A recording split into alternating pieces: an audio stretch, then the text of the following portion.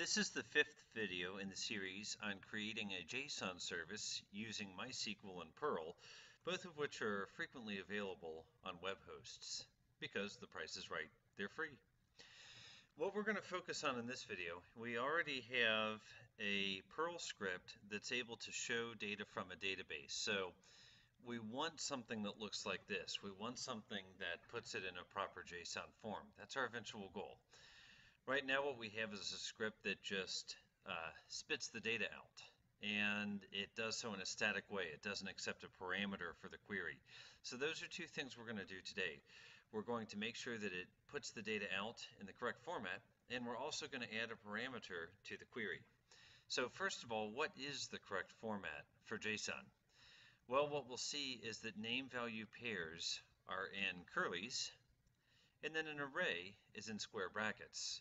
So we're going to need to use a combination of these because if we have multiple items of the same type, for example, multiple plants, then we're going to want to put that in an array with square brackets.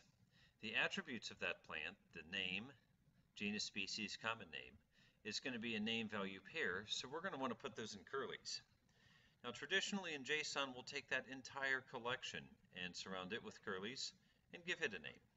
So let's take a look at our Perl script and let's continue to edit it. First of all, we no longer want, this is a simple Perl script, that was just a test line.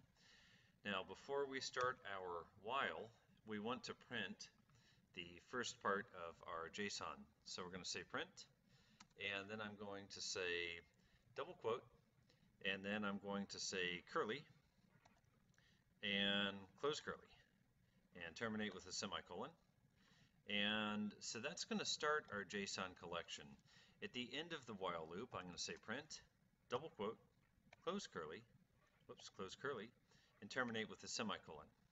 So this kind of says these are the bookmarks or the engine and the caboose of our JSON. Next, I'm going to say print, and we're going to say uh, plants, and the only trick is that plants we actually have to put in quotes, so we have to escape that character with a slash. So the slash is our way of saying, okay, I actually want to print a quote, because in Perl, we're going to want to put everything in quotes. So if we actually want to print quotes, we have to use that, that slash, the slash above the enter key, to escape it out. So we're going to say plants, um, and then we're going to say tab. I'm sorry, we're going to say colon, Okay, and terminate that with a semicolon. Okay, now I'm going to say print, and I'm going to do double quote, open square bracket, remove the closed square bracket, and again um, terminate with a semicolon. Okay, uh, we need to close off that square bracket, so after the while loop, print, double quote, close square bracket, close double quote, semicolon. Now I could combine these print statements into one line. I'm putting them on separate lines so we can clearly see what's happening.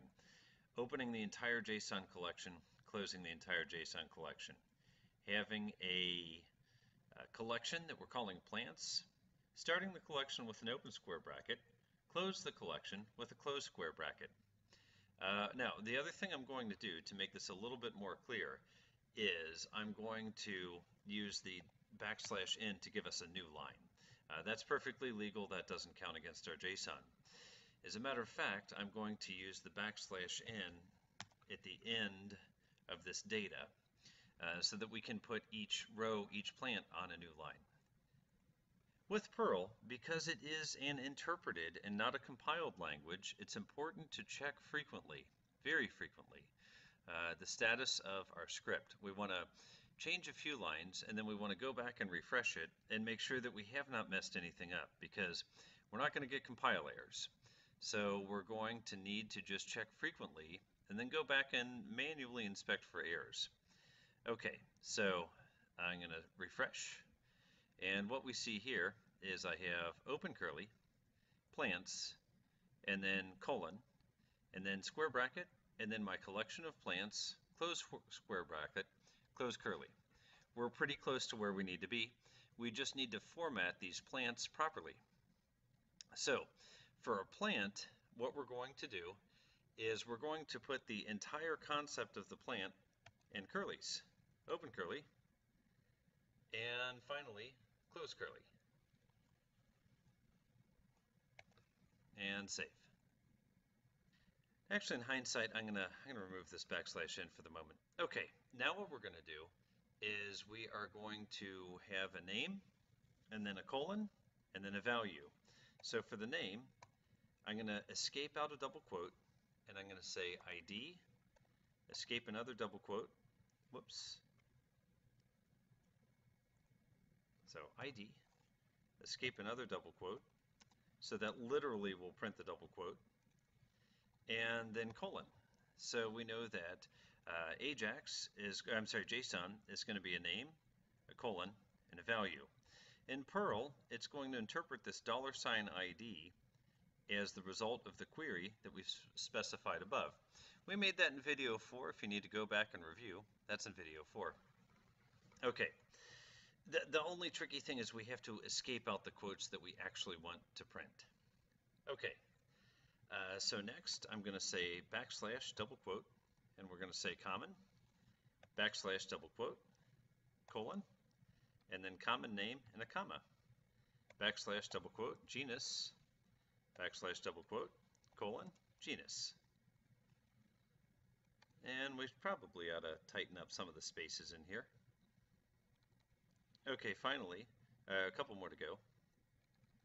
Backslash double quote, species, backslash double quote, colon, and I know this one's going to be off screen just a little bit, but backslash double quote, cultivar, backslash double quote, colon. Okay, that's a lot of symbols, a lot of opportunities to make a mistake there. So definitely I want to save, I want to upload, and I want to check my results. Yep. Okay. And we go back. Ooh, not good.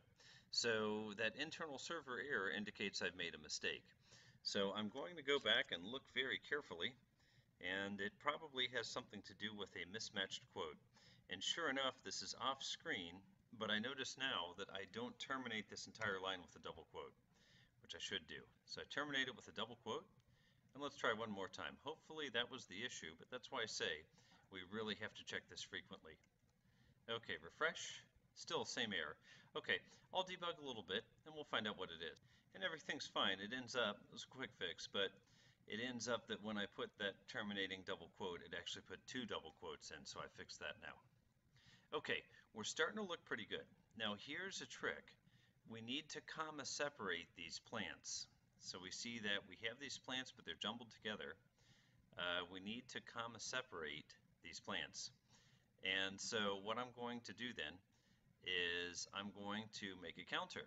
I'm going to say my dollar sign count equals zero. And what we're going to want to do is we're going to want to add a comma in a new line after every line after the first. So I'll say here if uh, dollar sign counter, my counter variable from above, or I'm sorry, count, greater than zero, then we're going to say print, and we will say comma, backslash n, which is going to give us a new line, and then terminate with the semicolon.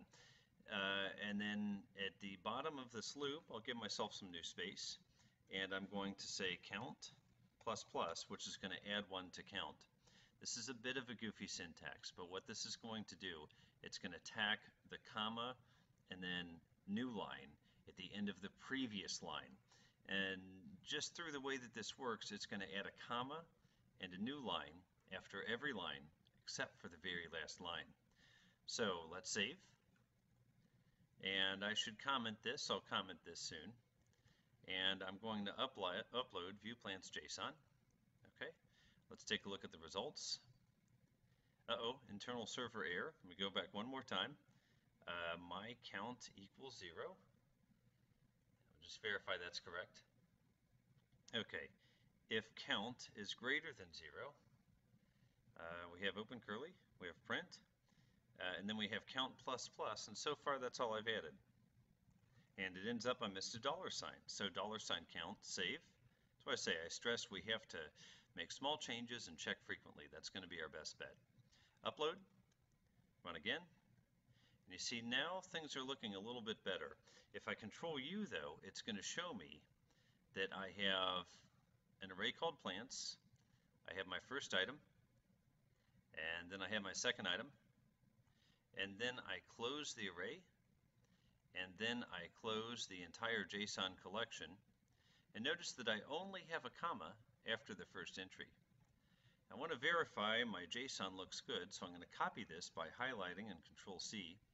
I'm going to go to the online JSON viewer, Control V, and I'm going to hit Viewer, Invalid JSON Variable. So it looks like I need to double check some of my values. And after a bit of looking, I realized that not only does the name need to be in double quotes, but so does the value. So I need to go back and edit my Perl script. Won't take too long, uh, but I have to do it anyway. So I'm going to, after each, uh, I'm going to copy this backslash double quote, and I need to paste that around each of my values that I'm getting back from the database to make sure that they are double quoted. I'll just take a second. And finally cultivar, which is going to be just a little bit off screen. And save. And view plants JSON. And yes. And let's try it one more time. I'm going to refresh. And you see now, give it a moment to refresh, whoops. You see now, not only is the name in quotes, but the value is in quotes as well. Okay, now let's take this entire string copy, put it back in the JSON viewer, go to viewer, and we see now this makes a lot more sense. We see JSON, this is the entire enclosing curlies, then the plants array. I expand the plants array, we see plant number zero is my southern magnolia, Magnolia grandiflora, cultivar blank. Plant number one, ID number four, Magnus coneflower, Echinacea, purpurea, Magnus. So you see how we can walk from the JSON collection to the array to each plant, and then we can look at the values of each plant, just like looking at the values that we got back from our JSON query, but this JSON viewer.stack.hu uh, makes it a lot cleaner. So right now we have well formatted JSON. I'm going to go ahead and terminate this video. Uh, after this, I'm going to make one more video that's going to show us how we can add a query here. We can say something like name equals AGN, and then we can actually make this so that we get data that is based on the query term that we've passed in. So that will be in our next video. I look forward to seeing you then. Thank you.